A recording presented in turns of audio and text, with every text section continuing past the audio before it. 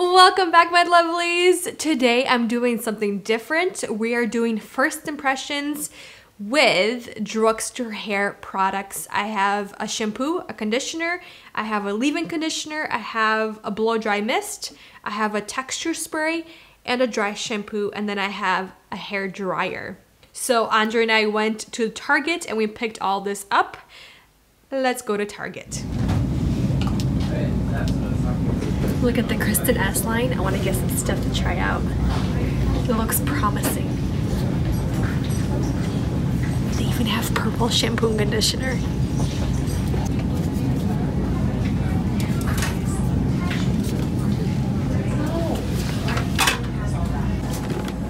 I found it. I want to try this bad boy out. What'd you find? Alright, this is one. Sound like it's broken. Something here broken. This is a hair dryer. You put your hair through those two nozzles. It's like you go in the bathroom Yeah, when you. when you put your hands in. I just spit everywhere because I'm so excited. It's like when you put your hands in to dry your hair, for your for your hair, Just to dry your hair. to dry your hands in the bathroom. You know I'm gonna try talking to dry my hands in there. or burn it, whichever. So we are back from Target. I already finished doing my hair with all the products. So if you guys want to see how well these products performed, let's start in the shower. Welcome to my shower. Today, obviously, I'm going to wash my hair with the new Kristin Ess line, the purple shampoo. This one I'm very excited about because I've heard great things. And this is what my hair looks like on the fifth day. No, it's sixth day already. Sixth day hair. And I'm basically gonna give you my feedback because it is a first impression. I'm gonna put the shampoo in my hair and kind of talk you through what I'm feeling, what I'm seeing, Let's do it. So I'm just gonna follow the directions that she recommends on the back. So I'm gonna grab a quarter size amount or depending on the thickness and the length of your hair. So I don't need that much purple shampoo. And this is the one purple shampoo. It's brass reducing, instantly illuminating, shine restoring, safe for daily use, and it's sulfate free, which is great. And it has some kind of zip up technology where it kind of, for you to have less hair split ends, hair breakage, and just to kind of target the weakest spots on your hair. All right, let's try this. Ooh, that's purple. So she said to apply to your scalp first because obviously the ends, if you have blonde hair, they're the most porous, so it's gonna grab onto the color the fastest. So focus on the top portion of your head for two to three minutes and then kind of spread it down to your ends for another one to two minutes. I'm not gonna do it too long just because my hair is not as brassy. So let's do this. It is lathering, but it's not lathering as much as some other shampoos. So it's been around two minutes and I'm just working my way down towards my ends with the shampoo. So I'm just gonna make sure the shampoo is nice and work through the ends of my hair as well. Let's rinse. It's time. I wanna see this purple shampoo is drying on the hair because usually purple shampoos, they're very dry because they're very pigmented. So I wanna see how well this one does. All right, so this shampoo, like I expected, it's very drying on my hair. I can barely put my hands and fingers through my hair.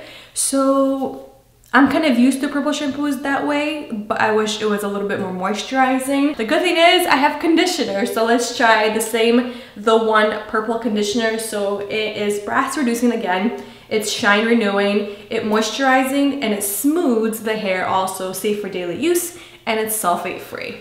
And this packaging is so cute, and the and the bottle is squishy. I love it.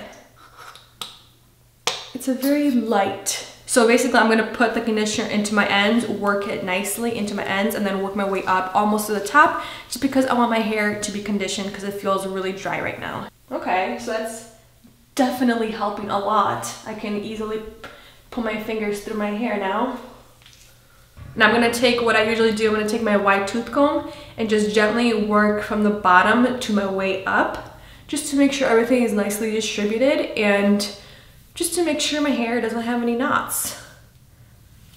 Three minutes have passed by and I'm just touching my hair now and it feels very moisturized. I can easily put my fingers through my hair, which is awesome. I hate the feeling when my hair is dry and I just can't put my fingers through my hair. That's the worst feeling ever. All right, I'm gonna rinse off my hair with cold water and I'm gonna meet you guys in my room to finish this off.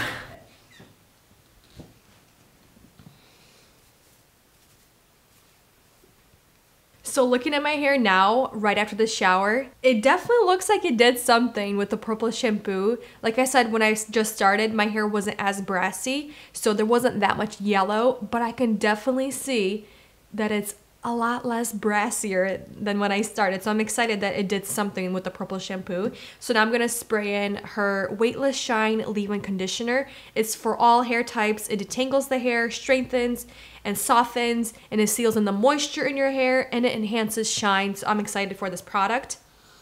And I was smelling all of her products, and they all smell very similar. It has a very, very soft, fresh, kind of like a very high-end salon smell which I don't mind at all. It's not bad at all. And of course, it also contains her zip up technology. So she says to recommend spraying it right after the shower. Shower. shower. she recommends to spray it right out of the shower, towel dry hair, and apply five to 10 sprays depending on your hair length and your hair type. So I'm gonna start with five and then brush it out with my wide tooth comb.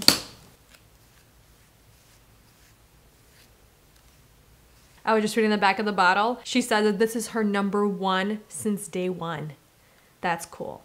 So far, I really am liking this leave-in conditioner because I brushed out my hair and I can easily you guys know the drill. I like to brush my fingers through my hair and if it gets stuck, I am not a fan of. So for the first impression, I'm liking it. It feels very weightless. The smell doesn't linger as long as I thought it would. My hair feels very nice and moisturized and not brassy, which I am liking for the purple shampoo. So I have three more products for her to test out. I have her Style Assist Blow Dry Mist. So this basically what she says, it smooths, seal, and protects your hair from the heat. And of course, I couldn't pass up her texturizing spray and dry shampoo. So I'm gonna test these out on my hair today, and then I'm gonna also use this tomorrow on my hair and update you guys how it feels on my hair the next day, if it absorbs any oils.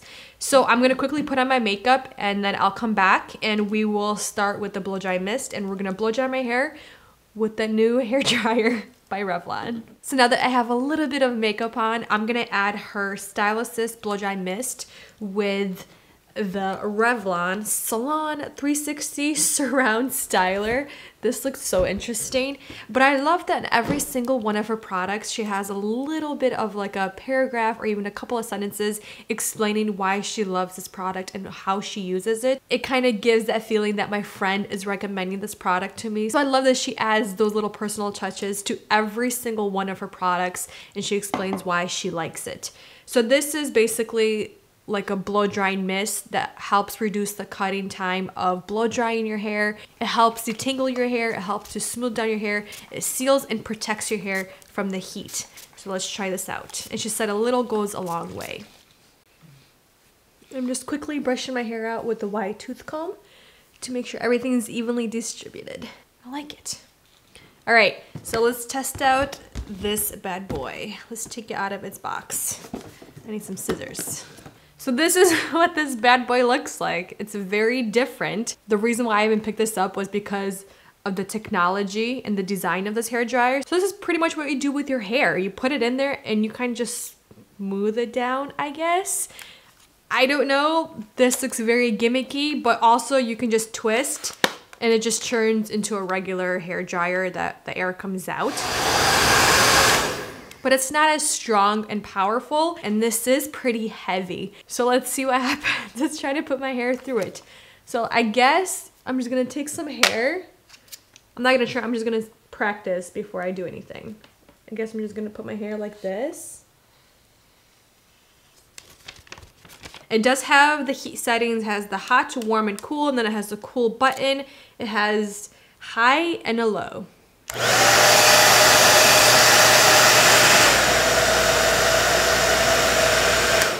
All right, let's try it out. I'm just gonna section off my hair first. So this hair dryer has a lot of claims as you see in this gold paneling right here.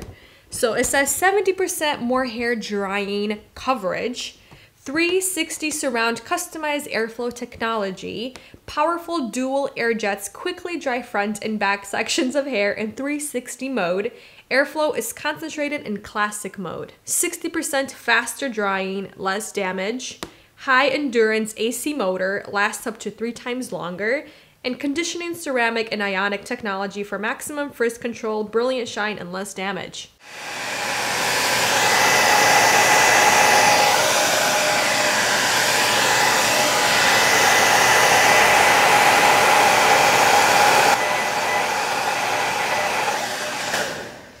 Okay, so here's my issue with this. Because my hair is shorter, it's just, you see how it's blow drying my hair? It's like blow drying it up. It's creating a lot of frizz because I can't control it. But I do like the fact that I can just place my hair and just kind of move it back and forth very slowly. But I don't like that it only has high and low. There's no medium airflow that I can control. So it's super high or it's very low. So the air is flowing down through all these little squares.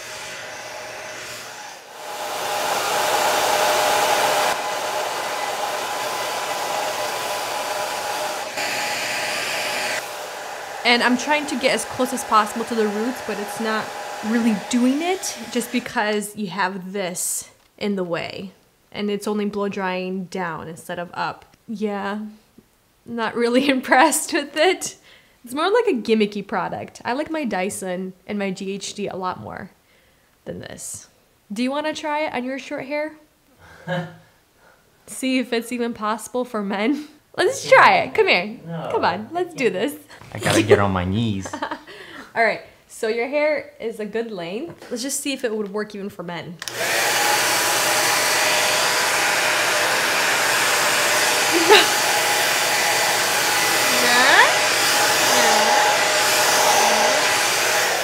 Like a comb? For guys, this is a no-go because it just blows your hair down. Oh, I want it. I want it to go Yeah. up. My problem is making the hair go up. So you need the old-fashioned hair dryer. All right, let me just finish it off and then I will meet you guys back and we will talk about the texturizing spray. Two minutes later and my hair is completely dry. All right, so I'm pretty impressed with the shampoo and conditioner. It definitely got rid of a lot of the brassiness. It looks very nice and icy, which I love. But speaking about the blow drying mist, it definitely helped silken my hair and add a lot of shine. I think with the leave-in conditioner, added six spritz. Maybe I should have added seven to eight. Maybe that way it would help give a little bit more softening and moisturizing to some portions of my hair. But it is very weightless and I like that my hair doesn't feel heavy or it doesn't feel like there's a lot of products in my hair, which I really love. I'm definitely going to continue using these two and see how well I like them. Now let's move on to the Dry Finish Working Texture Spray. This is for all hair types, texture building, instantly volumizing, ultra light hold, and a soft matte finish. So what she says is, rarely do I make waves without this. So maybe I should do some waves to my hair.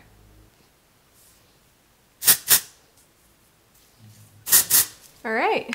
So I do feel the texture definitely. And it kind of feels a little bit sticky. Maybe I have to wait a little bit more. I think my hair looks great. I love the color. I think the products worked as good as they should. And I think the price is really great. So I'm very impressed. I definitely want to check out more of her hair line products. And then tomorrow, like I said, I'm going to try the dry shampoo and see how well it works on minimizing the oils on my scalp. So I'm excited to try this tomorrow. But so far, I am very impressed with the shampoo and conditioner. I do think it's very drying, the purple shampoo, so I would go in with a deep moisturizing mask. But it does work on taking out the brassiness from your blonde hair. If you have blonde hair, definitely check it out. I don't think this is worth even trying. There are many other great hair dryers on the market. It looks cool, it sounds cool, but it's a very gimmicky product in my opinion. It is the next day. We just came back from the gym not too long ago, took a shower, refreshed our bodies, but I did not wash my hair because I don't wash it every single day. I tend to wash it every four to five days. I've extended it. I was in between the two to three days. Today I will be testing out the dry shampoo by Kristin Ess. And this is for all hair types. It absorbs oil, eliminates odor in your hair, it extends your blow dry, and it's vitamin C enriched. So this sounds very promising. And it does smell exactly like all of her other products. So my hair, it does not look bad. Today's the second day. It still looks pretty fresh. It feels great, but I do want to refresh it around my face area. That's where I sweat the most and kind of in the back of my head. So that's pretty much where I'm gonna spray it, leave it in. What does she recommend? She doesn't really say anything. She just says apply to dirty or clean hair at the root and then gently tap the powder into the hair to make any visible powder disappear. So I'm just gonna apply it in those areas, kind of let it sit maybe 10 to 20 seconds, let it soak up the oil, and then I'm gonna brush it out with my hairbrush while the dry shampoo sits and does its thing, I really want to quickly talk to you guys about the purple shampoo. We did a little bit more research regarding the ingredients in the purple shampoo just to see how safe or harmful they are to our bodies and our skin and hair. What we did was we went on ewg.org slash skin deep website. They are incredible. I talked about them before and we typed in each ingredient and there are 20 ingredients in here besides water and nine of those were harmful. So they were above a three or a four and they went up to a, an eight. So it's a scale of one to 10. One is being least harmful and 10 being very harmful. So the most harmful ingredient here was the methyl. So it's basically alcohol. That's what dried out my hair and I felt it right away. And I mentioned that in the shower. I have another purple shampoo that I really love and they also have the methyl, but they only have one. This one has two in here. So it does dry it out a little bit more. But I have noticed that in purple shampoos, a lot of them do have the methyl in them for some reason, even if they are vegan, cruelty free, gluten free, they still have some kind of alcohol in it. I don't know why, but they do. I still have to find one that doesn't. So, on a scale of 1 to 10, this shampoo is probably a 5 all the way up to a 7 out of 10 of being harmful. So, keep that in mind and basically you get what you pay for. It is a great purple shampoo of toning your hair, getting the brassiness out, but it is very drying. That's what I got out of this purple shampoo. I'm just very gently going to massage it into my hair and the white cast is not really there anymore. But I'm gonna brush out my hair anyways, just to make sure it's all evenly distributed. And also the ingredient list is pretty bad with the dry shampoo. There's a lot of propane, butane, alcohol, and fragrance, of course. All of Kristin Ess hair products that I bought have fragrance in them, so keep that in mind if you are allergic to them. Stay away because it is pretty high on the harmful scale. I believe it's like an 8 out of 10, so that's pretty bad. The dry shampoo does work, but keep that in mind. It does have a lot of alcohol, butane, propane, basically just alcohol to suck everything in. but most dry shampoos do have a lot of the propane and alcohol and fragrance that are actually really harmful for you. And there are some companies that don't have fragrance and don't have the butane, the propane, and basically pretty much any alcohols in their dry shampoos. And I will keep you updated and let you know which ones are actually really great and are effective. So there we have it for my first impressions on drugstore hair products, some shampoo, some styling products, and some heat tools. What do you guys think? Do you guys want to see more? I definitely want to dabble my way into some drugstore products. And of course, I want to keep you guys updated if I do continue using a lot of these products and see how well they work for my hair. But for now, you guys, thank you for watching and I'll see you in the next one. Bye.